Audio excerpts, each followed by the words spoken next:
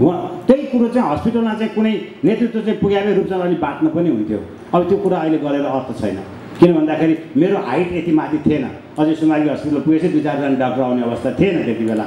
मैले चाहिँ बिर हस्पिटल लानु पनि चाहेको थिइनँ। मान्नु भएन। कस्तो स्वाभिमानी हुनुहुन्थ्यो भने अघि भनिसक्नुभयो देवप्रकाशजीले यो यथार्थ हो। मैले चाहिँ नि मेरो भाइ एक्सिडेन्ट भयो बिएनबीमा उपचार भयो। रूपचन्द्र विष्टले करिब तिन महिना चाहिँ कालीमाटीबाट मका आउने अनि मलाई टिपेर मेरो श्रीमतीहरूलाई आमाहरूलाई टिपेर दिनभरि बिना बिएनबीमा बस्ने। अनि उहाँ चाहिँ बिरामी हुँदाखेरि मैले बिएनबी लान खोजेँ। उहाँले भन्नुभयो जनताको छोरा हुँ म। वीर हस्पिटलमा नै मेरो उपचार हुनुपर्छ भन्नुभयो। मलाई त्यो दिन मेरो शब्द मलाई अहिले घृणा छ। मैले त्यो बेलामा बोलेँ। मेरो अन्जानले गर्दाखेरि छत्तिस वर्षको थिएँ। अहिले छप्पन्न वर्ष भएँ बिस वर्ष ठ्याक्कै हाम्रो अभिभावक भनौँ मेरो त गुरु भनौँ मेरो राजनीतिक सहकर्मी यात्री भनौँ या मेरो दर्शनको चिन्तनको मूल बाटो भनौँ।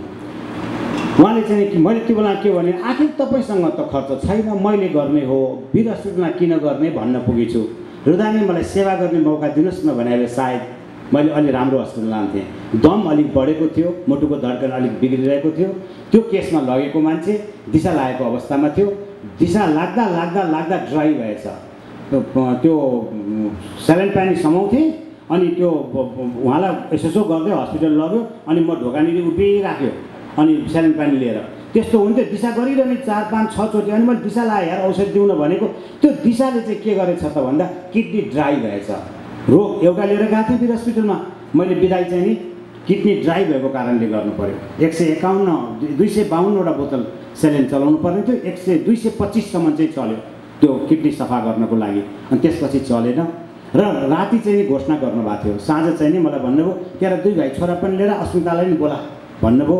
अनि छोराहरू पनि आए अनि दुइटालाई यसो टाउको सुमसुमाउनु भयो अनि अस्मितालाई कोख तिम्रो राम्रो छ भन्नुभयो अनि ठ्याक्क कृष्णानन्द कान्छो भाइ पनि आइपुग्नु भयो। अनि उसँग लास्ट वाक्य उसैसँग बोल्या होला। मसँग भन्नुभयो त्यो बाथरुममा फलान ठाउँमा यस्तो यस्तो कपडा राखेको छ त्यसको ब्यानर बनाउनु यस्तो गर्नु यस्तो गर्नु यस्तो गर्नु ढाकबत्ती तिमीले दिनु कोही हल्ला नगर्नु खुरुक्क चाहिँ यहाँबाट चाहिँ घाटमा लैजानु भन्न थाल्नुभयो अनि मैले के भने रुदाने भनेर म भावुक हुँदै गएँ।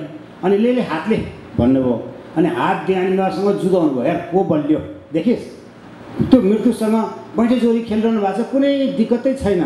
उहाँले भने करिब करिब मिल्छ। स्वाभाविक रूपमा मृत्युवरण गर्नको लागि सबै तारतम्य मिलाइसक्नु भएको। त्यस्तो खालको एउटा व्यक्तित्व हुनुहुन्थ्यो। हामी खुबै डराउँछौँ नि। हामी साह्रै डराउँछौँ। सरकारले पेल लागि उसले पेल लागि त्यसले ठोक लागि गाडी ठोके लागि मर्ने लागि भनेर।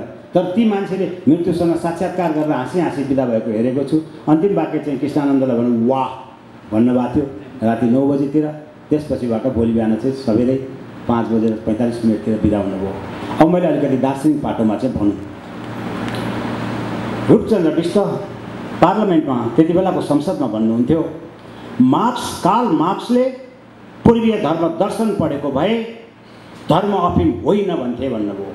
यो कुरोलाई लिएर बाहिर बसेका भूमिगत पार्टीका साथीहरूले अत्यन्त ठुलो विद्रोह अथवा के भनेको भन्ने कुरा गरे। आज त्यही भुल यो देशले दोहोऱ्याइरहेको छ। हाम्रो पूर्वीय वैदिक सनातन धर्मलाई यत्रो विनित तछार लछार चुरी गर्नुपर्ने आवश्यकता छैन। रूपचन्दलाई सम्झिँदा त्यो दर्शनलाई सम्झिनुहोस् र पूर्वीय दर्शनको महानतालाई सम्झिनुहोस्। अहिले म यति भनेर बिदा हुन्छु। हस्त तपाईँहरू सबैलाई धन्यवाद।